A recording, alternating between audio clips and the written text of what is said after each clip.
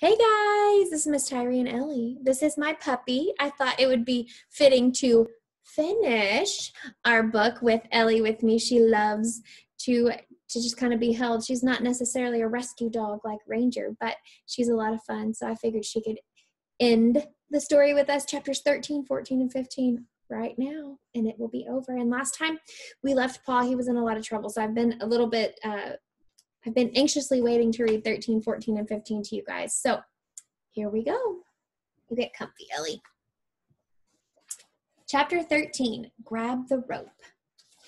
Behind Ranger, the air was full of screams and cries, splashes and neighs and snorts, but Ranger ran straight for the wagon. He had seen Rope earlier when Ma and Pa prepared the wagon for the ferry crossing, but where was it now? Ranger jumped onto the tailgate and climbed between two barrels of flour. He spotted a rope that secured a trunk to the side of the wagon, but when he bit and tugged, it just it pulled the ropes tighter. There had to be more rope, rope that was strong enough and long enough and not all tied up in something. Ranger jumped over a wooden trunk and sniffed at the tools that hung along the side of the wagon iron, steel, rust. Finally, he smelled something else fiber and sweat. And he found a thick coil of rope tucked behind a crate of dried fruit. Ranger clamped his teeth on the rope and tugged as hard as he could. The rope came loose. Ranger took the end in his mouth, leapt from the wagon, and ran for the riverbank. Lizzie held Isaac in her arms and clutched Amelia's hand. Sam was with Ma, uh, practically holding her up as they shouted to Mr. Harrigan over the raging water. Dr. Loring called to the other men for help. Ranger raced up to Sam and thrust the rope into his hands. You brought rope. Sam grabbed it, but Ranger tugged the end back and plunged into the water. With the rope in his teeth, he swam past Mr. Harrigan and Bess towards the place where he'd last seen Pa. The air was wet and full of smells horse sweat, river plants, fish. And Ranger caught the scent of death, too, rising up from the water. There were bodies down there. But Pa, he was still alive. Ranger could smell him. His scent got stronger as Ranger let the river carry him further downstream. There was still no sign of Pa in the water, and Ranger was getting tired. The current fought against him. It tugged at his rope and whipped a loop around his legs. He had to kick them free to keep swimming. It got harder and harder to keep his head out of the water so he could see. Ranger knew he couldn't last much longer. He'd have to let go of the rope and swim to shore. He'd have to rest and breathe and try again. But would Pa's alive and fighting smell be so strong then? The rope jerked tight. Ranger almost lost it, but he clamped his teeth down hard and held on. Ranger felt the water rushing past him. He'd run out of rope. Sam held tight to the other end on the bank. Ranger couldn't go any further without letting go. Ranger struggled to lift his head. He couldn't see Sam or Mr. Harrigan anymore, but he caught a splash in the water just as the dog's length or two away. He, a hand shot out of the waves, flailing at the air, grabbing at nothing. Then for a flash of a moment, Ranger saw Pa's terrified face, grasping for breath before he was swept under again. Ranger kicked as hard as he could, back upstream. He had to battle the current to move even the tiniest bit. The rope scratched his mouth and his tongue. The river slapped at his face, but Ranger swam as hard as he could. Finally, his paw touched something solid the rough, wet fabric of Pa's shirt. Pa's arm jerked away, and then his head popped out of the water. He coughed, taking in great, desperate gulps of air. His arms flopped and slapped at the river as he tried to stay afloat. The rope! Ranger swam closer. Here, he thought, take it! In the swift water training with Dad and Luke, the person had taken the rope right away. Ranger had been watching from the boat. The rope came, and the person grabbed it and got saved. But this was different. Training hadn't smelled like this, like fear and panic, like coughed up river water. Ranger swam right up beside Pa, kicked him in the shoulder, and poked him in the ear with his nose. Finally, Pa's eyes focused on the dog, and then, yes, he lunged at the rope. Sam must have seen Pa's hand close around because right away the rope pulled tight again. Ranger wasn't sure. Pa, pa was Ranger wasn't sure Pa was strong enough to keep hanging on, so he tried to swim behind him, but Ranger was exhausted and the current was strong, it, it was starting to pull him away from Pa, away from the rope and safety. But then Pa flung an arm around Ranger and held him tightly until they finally saw Sam tugging on the rope. Sam cried when he finally saw his Pa. He and Dr. Loring pa- pulled Pa and Ranger all the way into shore until the water was shallow, until the water was shallow enough for Pa to crawl. Then they splashed out to help him to dry land. Pa coughed up some water, then flopped onto his back and looked up at the sky. Ranger stood in the mud and looked up too. It felt like something should happen. He'd rescue Pa. Would Luke come and take him home now? And when he heard the words, Good job, it was Sam's voice, not Luke's. You're such a good boy. Sam put his face close to Ranger's. I love you, dog. Ranger loved Sam too, but he was still all wet. Ranger shook water onto Sam and everyone laughed. Nothing had ever sounded so good. I bet that laughter was a welcome from all the sad and the screaming. Later, when all the clothes were hung up to dry, Ma gave Ranger that slab of bacon she'd promised. You deserve more than that, dog. She patted him on the head, and Ranger wolfed down all the meat. Sam wasn't eating. Ma raised her eyebrows. Did all that adventure steal your appetite? Sam shrugged. He'd been quiet all night, and Ranger thought he felt warm. Maybe too warm. Ranger sniffed at Sam's temple and whined.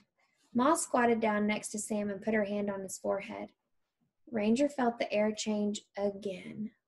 The smell of fear was back before it even came out of Ma's voice. Get the medicine chest, Lizzie. He's burning up. Chapter 14 Fever Dreams. Sam didn't eat anything at supper or at breakfast the next morning. Ma and Pa settled him into some blankets piled on the trunk uh, on a trunk in the wagon, and he rode there for the next three days. Ranger walked alongside Lizzie and Amelia, but every time the wagon stopped, he leapt onto the back and found his way back to Sam. Dr. Loring came by at the end of every day on the trail. He cut Sam's arm so the bad blood would drain out. But Sam still shivered under the scratchy wool blanket. Ma was afraid he had cholera like Sarah's mother and father. But Dr. Loring pointed to the red spot spreading from Sam's wrist to his ankles right up to his leg, right up to his legs. He's got rash. It's dangerous, but I think he's going to make it. On the morning of the fourth day, Sam's skin wasn't so hot. He even got up and walked behind the wagon for a bit. But when night fell, the fever came back, and it was worse, much worse. Sam was shaking his head and twitching his limbs as if some invisible wolf had gotten a hold of him. Dr. Loring came and gave Sam some medicine, but he spit it back up. Dr. Loring turned to and shook, her, shook his head. The second phase is usually worse than the first. All we can do is pray. Come on, dog, get down, Lizzie called. The ranger would not leave Sam's side. When Luke was sick last year, Ranger had stayed with him the whole time, sleeping beside him in bed. Luke had gotten better. Sam would too. He had to, didn't he? Days passed, but Sam didn't improve. When Sam shivered, Ranger curled up close to him. When Sam cried out, Ranger licked his hand. Mostly Ranger just sat beside him, keeping watch.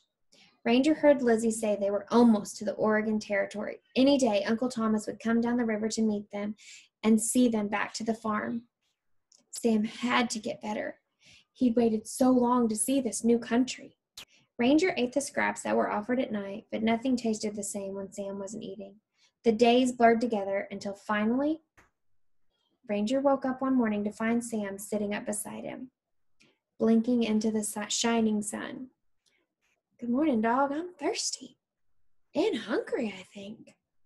Ranger wasn't sure what Sam wanted, but he understood the most important thing. Sam was back. Ranger barked and Ma came running. She was just about smothered Sam in hugs and cornbread. When Sam stood up, his legs weren't as wobbly as a newborn his legs were as wobbly as a newborn colt, but the color was coming back to his cheeks. At the end of the day, a wagon appeared on the trail coming from the other direction. Ma raised her hand to shade her eyes from the sun. William, I, I do believe it's your brother's team. Lizzie gathered her skirts in her arms and broke into a run. Even though he would still he was still weak, Sam took Amelia's hand and followed them. Uncle Thomas! The wagon stopped alongside a tr- alongside the trail. A sturdy looking man jumped down from his horse and came running with a floppy eared dog alongside him. Uncle Thomas looked a little older than Pa, with the same scruffy hair and green eyes. He rushed up to the Abbott's wagon, hugging Ma and fussing over the baby and telling Amelia how grown up she was. The dog nearly knocked Amelia off her feet. Finnegan, Uncle Thomas called, and the dog barked. Leave that little miss alone. Finnegan jumped up on Sam and nuzzled his hand. "Uh, Does Finnegan live on the farm? Sam asked. Uncle Thomas nodded. Oh, yeah, he'll wake you up every morning, I promise. Did you hear that, dog? Sam turned to the wagon where Ranger had been standing watch. Ranger barked and tipped his head, but he stayed by the wagon.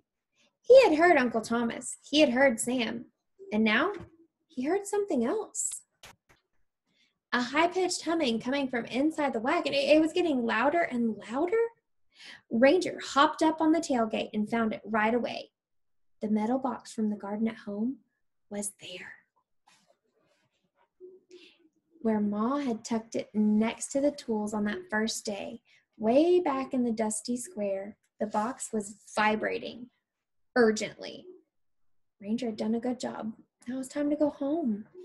Ranger grabbed the leather strap with his teeth, dragged it to the wagon's tailgate, and jumped down. Sam was watching him. Ranger knew he couldn't leave without saying goodbye. Everyone was getting ready to start off again to finish the journey. The metal box was humming so loud it seemed to be shaking the whole earth. The ranger sat it down in the dirt, ran next to Sam, and licked his hand. Dog, this is Finnegan, Sam said, squatting down to introduce them. Finnegan nuzzled Sam's ear, then turned to look at Ranger curiously. Who are you? the other dog seemed to ask. Finnegan sniffed Ranger, knowing he didn't quite belong. We're going home now, Sam said. To the farm. Ranger sniffed Finnegan. He was a good dog. He'd take care of Sam. Sam, come along, Pa called. We need to make 10 more miles before dark. Ranger licked Sam's hand once more and then turned away. Where are you going, dog? Sam looked confused. He stood up, and one of the quilt squares fluttered down from his pocket. Aren't you coming? Ranger sniffed the square, then picked it up in his teeth. You, you want to carry that for me? Here! Sam took the bit of fabric and tucked it under his collar. All set now. Let's go, son, Pa called. That dog will follow if he wants to. We need to get moving. But Sam didn't move. He watched Ranger trot back to the first aid kit and sit down. Finally, Sam nodded as if he understood. Thanks, dog, he said quietly. The ranger heard. Even over the humming and the, that threatened to swallow him up, he watched Sam run to catch up with Lizzie and Finnegan in the wagon. When Ranger nuzzled the dusty leather strap over his head, the humming drowned out all the sounds of the trail snorting, the shouting, the clumping oxen, and the neighing of horses. Ranger saw a pinprick of white light that grew bigger and bigger until it swallowed up the Oregon sun, and Ranger had to close his eyes. When he opened them, there was a squirrel. The squirrel crouched at the bottom, 15, home. The squirrel crouched at the bottom of the oak tree, its muscles twitching as if it might race back up to the leaves any second. Ranger sniffed the air. He smelled squirrel. He smelled fresh grass and gasoline and the twang of Dad's lawnmower. He smelled Luke and Sadie and pizza. And somewhere still buried in the garden nut bone that he buried a long time ago. The squirrel twitched again. Instead of running up to the tree, it took off towards the picnic table before Ranger could even think he was chasing it, legs flying behind him, ears perked up, nose sniffling ahead of him. Squirrel! He raced three times around the picnic table, through Mom's flowers, across the garden, and then zip! The squirrel raced up the oak tree and vanished. Poor Ranger, another one got away. You want a treat, boy? Ranger turned and saw Luke open the kitchen door. He bent down and held out his hand with half a slice of bacon in his palm. Ranger rushed up to him, panting, and gobbled it up. Bacon! Home bacon! Ranger followed Luke inside the mudroom, still licking grease from his muzzle. What's that? Luke reached for the first aid kit that clung around Ranger's neck. Ranger stood still while Luke lifted the strap and studied the rusty tin box. Then he noticed the quilt square and slipped it from under Ranger's collar. Did you dig this up in the garden? That's pretty cool. Let's show Mom. He started off. Without thinking, Ranger barked. Luke turned, his eyes wide. What? Ranger trotted up to Luke and carefully took the leather strap and quilt square in his teeth. He tugged until Luke let go. Okay, fine. You found the stuff. It's all yours. What are you going to do with it? Ranger carried it to his dog bed. Luke laughed. Well, I guess that's a good place to keep your treasures. Good job. You're a good boy, Ranger. He scratched Ranger's ear. Ranger leaned in and wagged his tail. He'd waited so long to hear those words. When Luke left, Ranger settled into his dog bed. He was tired. But before he went to sleep, he nuzzled the first aid kit. It was quiet now. The humming had stopped. Ranger poked at the kit with his nose until it was tucked into the folds of his blanket. Then he curled up and gave the quilt square a good long sniff. Sam's scent still clung to the fabric. Ranger could smell Ma, too. Her mix of wildflowers and worry, and Lizzie and Amelia and trail bacon and oxen, but mostly Sam. Somehow, Ranger knew Sam was home now, too. I'll show you the picture at the very end. I really like that story. What a great book. Incredible. Um, this is a little bit of the author's note. It just says Imagine saying goodbye to your house, almost all of your friends and your extended family, and most likely all of your possessions. Imagine leaving everything you know to begin a long, long journey to a new home in a place you've never seen. Sam and his family are fictional, but their story is inspired by the diaries and journal journals of many real life people who wrote a little bit each night as they traveled west on the overland trails that led not only to Oregon territory but territory but also to California and the Great Salt Lake.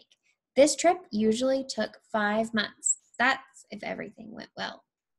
Wow, pretty cool. And there's a there's quite a bit in the author's note here. So, I uh definitely, if you guys get a chance to check this book out, this is a good one. So, we're to start a new book soon. Ellie and I would like to thank you for letting us read with you, and we will talk to you guys later. Bye.